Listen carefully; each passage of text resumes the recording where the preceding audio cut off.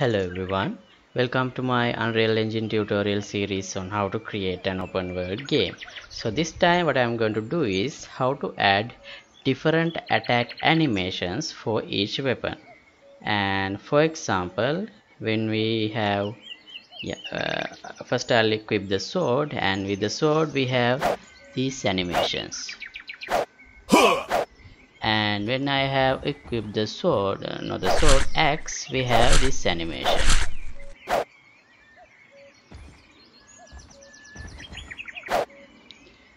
Hmm. Let's try the combo attack.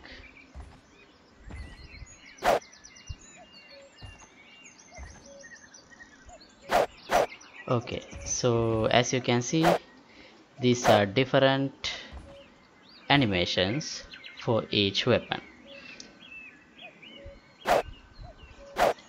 Alright, let's get started. And as always, this episode is sponsored by these generous Patreons. Thank you very much for the support you are giving me. That means a lot to me. Okay, the first thing I need is I need new animations for the attacks with the axe because we originally initially we designed our attacks to work with to suit this sword. And now I'm going to find some animation which matches the axe so okay uh, first I'm going to use this one stand in melee attack. This looks more like uh, some attack with the axe so I'll download it without skin. Also this one stand in melee attack. Uh, doesn't have any other name the same name. So this one also without skin. And for the combo with axe I'll use this one. Actually this is the one I have used for the combo with sword so in, even though it doesn't mm, it is not a sword attack I have used that already so I'll use this one instead. And I'll import those animation into this axe folder. Like this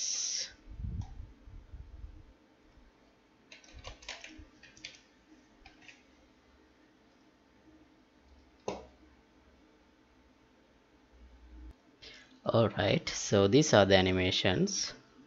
I'll create any montages with them. For each of them I need an anim montage because that's the one I'm going to play. In my character blueprint. Okay let's take the first anim montage. I have to set up few things as I have done with other attack animation montage. Let's see first what are the animation what are the things I had to yeah like this. I have to first disable movements and enable movement then and attack moves and check hits. So I hope you remember what each of these things does. So I'll do a quick reminder a quick brief. So this disable movement basically disables the character's movement with input keys like WSAD and this enable movement uh, basically re-enable to ability to move. I am doing that because it looks odd when the character moves while performing the attack. So and this attack move means whenever in this frame this character will have some slight forward momentum added. Uh, that is just to increase the impact of the attack. If you don't need that you can get rid of that. And also this check hit. So this is where we check uh, that if we have actually hit the enemy. So this is the notifier that fires the check hit event. Right so we have to set up each of them in these three montages as well. I'll do one here. Let's disable movement uh, not movement here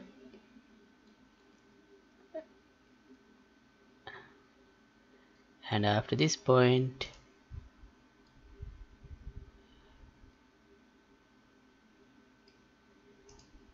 let's enable movement and we should check hit somewhere right here. Check hit and also we needed I'll put the attack move here. And also I need that swoosh sound. So I'll play sound. What is that sound? If you want you can use a different sound for the axe so that there will be some difference between axe and the sword but for now I don't have any other sound so I'll use the same one. Okay. And similarly I have to do the same things for the other animations as well.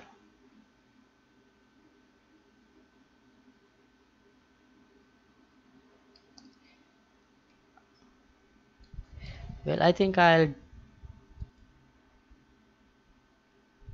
do them off screen. Because uh, no point showing the same thing again and again. It will just it will only take time. Alright so I completed this event setup and animation notifier setup for the second attack. Now the third attack. This one. Here this is since this is the combo we have to check uh, the hit in two places. That means first I'll disable movement here.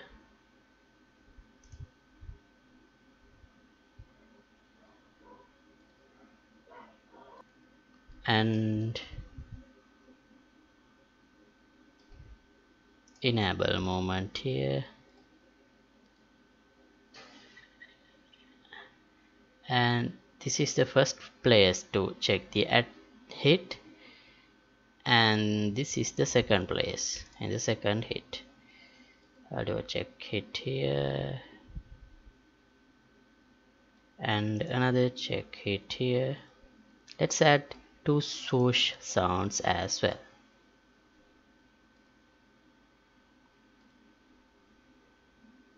Here and here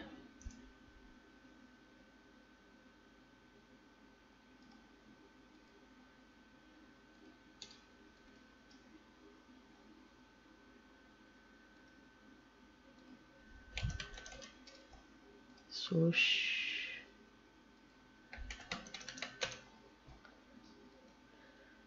okay and also I need to attack mouse. I'll add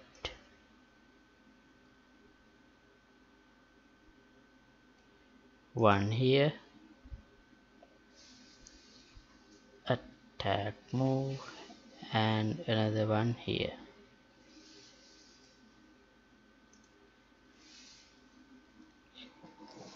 okay so that's all for the animations. And now let's open our character. This is the character ch human.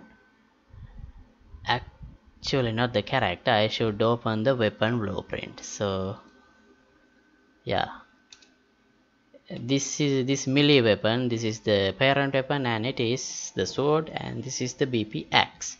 So here I think I have created variables to yeah these are the variables for combo attack and regular attack so for these two combo attacks I'll put this one first and this one for the second attack.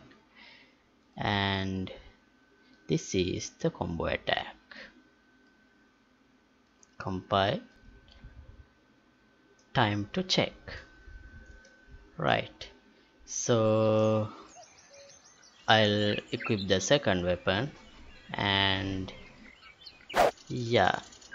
As you can see the attack animation is different and let's try the combo attack.